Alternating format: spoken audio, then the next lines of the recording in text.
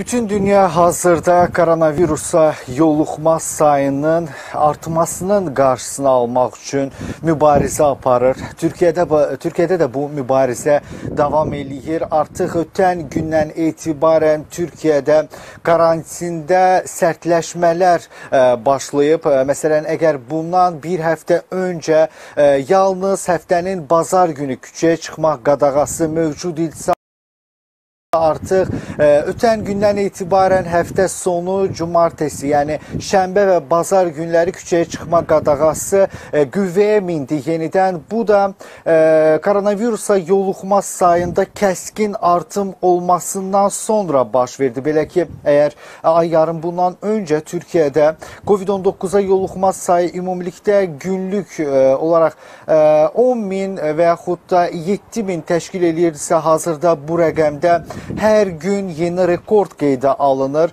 Artıq ə, e, ötən gün açıqlanan rəqəmlərə görə Türkiyədə ümumilikdə gün ərzində koronavirusa yoluxanların sayı 45 minə yaxınlaşır. Ölənlərin sayında da artım var.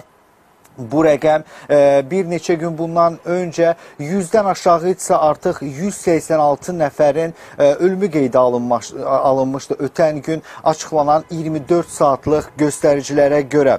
E, dediyim kimi koronavirusla mübarizə çərçivəsində Türkiyə yenidən qadağaları gündəmə gətirir. Məsələn, Ramazan ayı boyunca demək olar ki, restoran və kafelerin fəaliyyəti yenidən dayandırılacaq. Yalnız yerində xidmət xidmətin fəaliyyəti dayandırılacaq kafe və restoranlar e, servis e, eləyə biləcəklər. Yəni e, evlərə xidmət e, olacaq. Onlar da yəni bişirdikləri yeməkləri evlərə göndərə biləcəklər. E, bunu da qeyd edeyim ki, bundan başqa həftə sonu qadağası e, demək olar ki, Ramazan ayı boyunca da davam eləyəcək və e, mütəxəssislər belə bir təkliflə çıxış eləyiblər ki, Ramazan ayı boyunca 21 günlük küçəyə çıxma qadağası qüvvəyə minsin. Lakin bu məsələ hələ ki müzakirə edilir, amma ola bilsin ki, koronavirusa yoluxma sayının artması fonunda bu qərarla da bağlı bir e,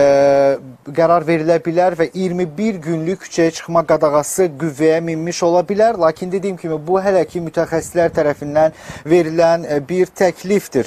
Bundan başqa bilirsiniz ki, normallaşma dönəmində Türkiyədə bu cür bir mexanizm qurulmuşdu. Ən aşağı, orta və yüksək riskli bölgələrdə müəyyən yumşalmalar və sərtləşmələr qüvvəyə minəcəkdir ki, artıq demək olar ki, bir neçə gün bundan öncə Türkiyədə ən aşağı 100 risk qrupuna aid ölə aid olan şəhərlərin sayı çoxluq təşkil eləyir eləyirdisə, ə, e, yüksək risk qrupuna aid olan şəhərlərin sayı 17-dən indi 58-ə qalxıb. Buna görə də demək olar ki, bütün qadağalarla bağlı qərarlar bütün şəhərləri əhatə eləyir və Türkiyənin Səhiyyə naziri Fəxrəddin Qocanın bir açıqlaması var. Elə az öncə bu açıqlama barədə məlumat gəldi ki, Fəxrəddin Qoca deyib, artıq 65 yaşdan yuxarı şəxslərdə koronavirusa yoluxma sayında kəskin azalma var. Hazırda koronavirusa yoluxanlar arasında daha çox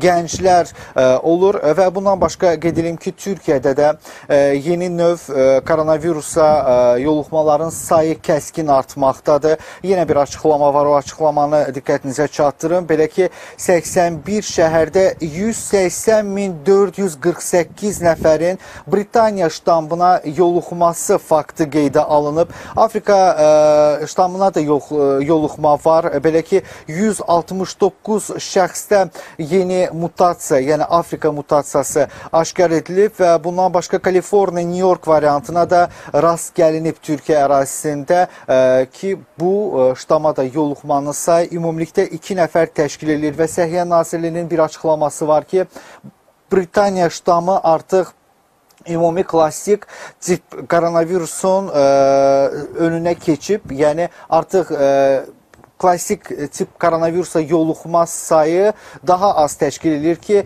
nəinki Britaniya ştamına yoluxma halında ço çoxalma var. Bundan başqa Türkiyə fərqli ölkələrlə anlaşmaya gedir, razılaşmalar ə, imzalayır ki, o ölkələrdən, yəni ə, doza ə, vaksinlər ala bilsin. Ə, onlar arasında Çin və Almaniya var. Belə ki, ə, Sinovac və BioNTech-lə hazırda ə, anlaşması olan Türkiyə ötən gün ərzində 2 milyon 800 min doz BioNTech-in Türkiyəyə gətirilməsinə nail olub ki, bu rəqəm də yaxın günlərdə 4,5 milyona qaldırılacaq və Türkiyə tərəfi belə bir açıqlama vermişdi ki, Türkiyə hökuməti olaraq Rusiya ilə də hazırda danışıqlar aparılır və ola bilsin ki, Türkiyə Rusiya istehsalı olan ə, Sputnik peyvəndini də əldə edəcək və bu peyvəndlə də Türkiyə əhalisi peyvəndlənmiş olacaq.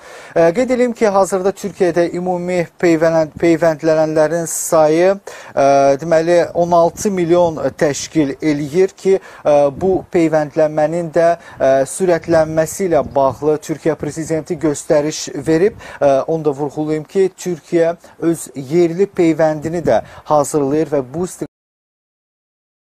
istiqamətlərdədir və çox böyük ehtimal ki, aprel ayının sonlarından etibarən artıq Türkiyədə öz yerli peyvəndini təsdiqləmiş olacaq.